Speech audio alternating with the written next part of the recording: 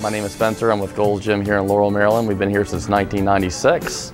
Gold's Gym is for everybody. One of the good things about Gold's Gym here in Laurel is we have a women's only area in here. It's a place for women when they first join up, they can come here and feel comfortable and work out. It's a great place for them to start off. They can do an entire circuit in there. There's cardio in there. There's TVs in there.